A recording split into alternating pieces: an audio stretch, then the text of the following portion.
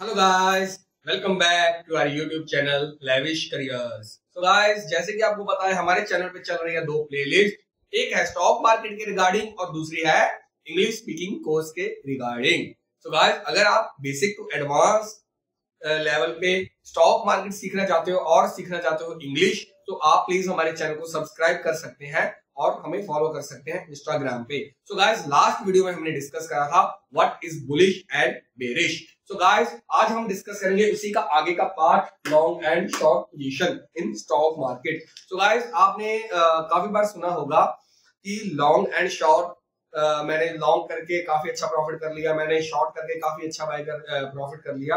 तो ये होता क्या है? सो लास्ट वीडियो में हमने गाइस जाना था कि बुलिश एंड बेरिश होता क्या है। सो so, उसी का आगे का पार्ट है। तो मैं आपको एक और रिक्वेस्ट करूँगा कि अगर आपने वो वीडियो नहीं मेरा देखा है तो प्लीज़ मेरे वीडियो को वो देख लें, क्योंकि वो उसी इसी का जो है वो पिछले वाला पार्ट था। सो आप इसी इसको अगर अच्छे तरीके से ग्रैब करना चाहते हो तो प्लीज़ एक बार बुलिश एंड बेरिश मार्केट को देख लें। सो गाइस चलिए स्टार्ट करते हैं। लॉन्ग एंड शॉर्ट पोजीशन होता क्या है? सो so गाइस अगर सपोज़ कीजिए मार्केट में बुलिश ट्रेंड चल रहा है तो इसका मतलब कि आपका अप ट्रेंड चल रहा है। तो अप ट्रेंड में आप क्या करेंगे? अप ट्रेंड में आप करेंगे कि जो आपका मतलब इसका मतलब आप सपोज़ कीजिए किसी भी शेयर की आप एग्जांपल ले लीजिए, हम ले लेते हैं टाटा की एग्जांपल ले लेते हैं। ठीक है? सो सपोज़ कीजिए कि आपने बुलिश जो टाटा का शेयर है, जो वो बुलिश ट्रेंड में चल रहा है, इसमें आपने प्रॉफिट लेना है तो वो आप क्या करेंगे? उसमें आप करेंगे कि मतलब सपोज़ कीजिए ये सौ रुपए का शेयर चल रहा है तो अप ट्रेंड का मतलब यहाँ से ऐसी शेयर आ रहा है तो आपने सौ रुपए का बाई कर लिया। तो दैट मीन्स अगर ये सौ रुपए से ज़्यादा बढ़ेगा सपोज़ कीजिए एक सौ एक होगा, एक सौ दो होगा, एक सौ तीन होगा मतलब एक सौ दस रुपए जितना भी होगा, जो भी आपका टारगेट होगा, वो हम नेक्स्ट वीडियो में डिस्कस करेंगे कि कैसे आपने एंट्री लेनी है, कैसे आपने स्टॉप लॉस लगाना है, क्या होता है स्टॉप लॉस क्या होती है एंट्री वो हम नेक्स्ट वीडियो में डिस्कस करेंगे। आज आप यही समझिए कि अप ट्रेंड का मतलब कि आप सौ रुपए की चीज़ लेकर उसको 110, 120 आप जितने भी मतलब प्रॉफिट लेकर बेच रहे हो तो उसको आप वैसे प्रॉफिट कर सकते हो। तो उस चीज़ को हम क्या बोलेंगे? लॉन्ग लॉन्ग पोजीशन ठीक है? मतलब कि लॉन्ग पोजीशन में क्या होता है कि आप पहले बाय करोगे फिर आप करोगे सेल तो बाय मतलब आपने लो प्राइस पे बाय किया और हाई प्राइस पे सेल कर दिया। तो आपका ये हो गया लॉन्ग पोजीशन तो इसी तरह अगर मार्केट जा रहा है बेरिश क्योंकि ये मार्केट का ये एक और कंसेप्ट है कि आप धीरे धीरे जब मार्केट में घुसते जाओगे ना आपको पता चल जाए रहेगा कि आ, काफ़ी तरी, अच्छे तरीके से आप बेरिश मार्केट में भी आ, अच्छी खासी अर्निंग कर सकते हो। सो so, अगर आप एग्जांपल लें 2010 में सॉरी 2008 में इन्वेस्टर थे तो उन्होंने उस टाइम पे काफ़ी छह सात हज़ार करोड़ की अर्निंग करी थी। वो क्या थी? तब बेरिश मार्केट चल रही थी। तब उन्होंने कैसे करी थी? वो आपको धीरे धीरे मैं बताऊँगा। सो so, अभी क्या है कि ये हमने हो गया बुलिश ट्रेंड बुलिश ट्रेंड में आपने ट्रेड लिया। पहले आपने बाय किया फिर किया सेल तो आपका बन गया लॉन्ग का पोजीशन अभी शॉर्ट का पोजीशन शॉर्ट का पोजीशन क्या होगा? कि मार्केट आपकी चल चल रही है बेरिश ठीक है? दैट मीन्स कि मार्केट आपकी नीचे आ रही है। लेकिन आप सोच रहे होंगे कि ये कैसे हो गया कि मार्केट नीचे आ रही है। तो हम फिर भी प्रॉफिट कर ले। तो उसमें क्या होगा कि उसमें आप सबसे उसमें आप पहले करेंगे सेल फिर आप करेंगे बाय ठीक है?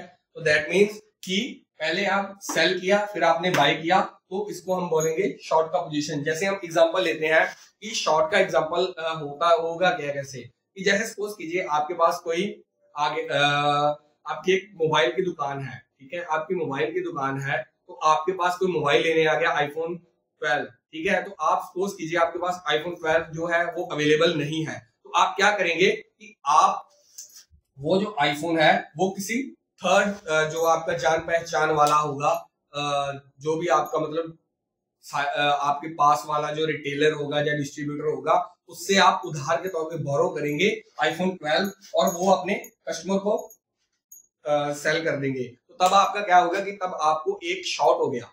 आपको एक मोबाइल जो है वो शॉर्ट हो गया। तो वो आप क्या करेंगे? वो आप अपनी कंपनी से जहाँ से आपका माल आता है, वहाँ से आप उससे दोबारा लेकर वो दोबारा उसको वापस कर देंगे। तो उसमें क्या हो गया कि आपकी शॉर्ट जो चल रहा था, एक फ़ोन आपका शॉर्ट चल रहा था, वो आपने अपने डिस्ट्रीब्यूटर से लेकर, अपने जो भी आप जहाँ से भी आप अपना माल लेते हो वहाँ से लेकर वहाँ पे जिससे आपने बोरो लिया था वहाँ पे आपने दे दिया। तो तब क्या हो गया कि आपका शॉर्ट हो गया। सो so, अभी क्या है कि अगर लॉन्ग का पोजीशन होगा तो पहले आप बाय करेंगे फिर आप करेंगे सेल अगर शॉर्ट का पोजीशन लेना होगा तब आप पहले करेंगे सेल फिर आप करेंगे बाय सो so, अभी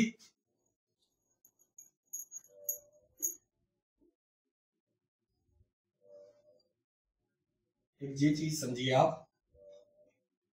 कि अगर आप लॉन्ग का कर रहे हो तो इसमें भी आपने कर दिया बाय ठीक है? इसमें भी आपने कर दिया सेल ठीक है? अगर आप शॉर्ट कर रहे हो तो आप इसको बोलेंगे, इसमें पहले कर दिया आपने सेल फिर आपने किया बाय लेकिन, कैसे आप मतलब कैसे आप बताएँगे कि आप लॉन्ग का बाय कर रहे हो और आप लॉन्ग का सेल कर रहे हो? कैसे आप बताएँगे? अगर किसी किसी ने आपसे पूछ लिया कि कैसे आपने प्रॉफिट करा तो कैसे आप उसको बताएँगे?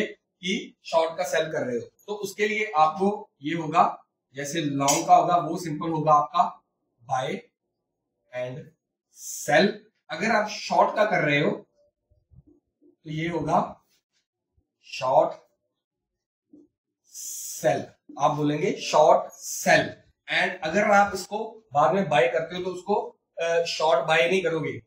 उसको बोलेंगे कवर टू बाय क्योंकि अगर आप उसको शॉर्ट सेल शॉर्ट बाय बोलेंगे तो वो तो फिर ये होगा ना जहाँ से आपने बोरो लिया था कि मतलब वहाँ से आपकी शॉर्टिंग है। तो वहाँ पे आप कवर कर रहे हो। सो so, तो यही था concept long and short position का। सो so, इसमें आपको मैंने बताया जैसे कि अगर आप लॉन्ग का पोजीशन ले रहे हो दैट मीन्स आपकी मार्केट ऊपर जा रही है अप ट्रेंड जा रहा है। आप चीज़ को हंड्रेड रुपीज़ में लेकर उसको एक सौ दस एक सौ बीस रुपए में बेच रहे हो। सो सेल में क्या शॉर्ट में आप क्या करोगे? कि शॉर्ट में सपोज़ कीजिए, आपकी एक चीज़ चल ये आपका कोई भी शेयर का प्राइस चल रहा है, वो आपने क्या किया कि आपने हंड्रेड रुपीज़ पे सेल कर दिया। है? आप क्योंकि पहले सेल करोगे ना हंड्रेड रुपीज़ पे सेल कर दिया दैट मीन्स कि वो आपके पास hundred hundred rupees hundred rupees का आपने सेल किया, लेकिन जब उसका प्राइस फिफ्टी रुपीज़ आया तो आपने बाय कर लिया। मतलब कि आपने महँगा बेच दिया पहले बेच दिया फिर आपने सेल कर दिया। तो आप क्या है कि आपको मैं अभी बता दूँ कि आप कहाँ पे शॉर्ट सेलिंग कर सकते हो कहाँ पे शॉर्ट सेलिंग और शॉर्ट बाय कर सकते हो। तो गाइस इसके लिए पूरी स्टॉक मार्केट में जितने भी शेयर्स हैं आप सभी में नहीं कर सकते।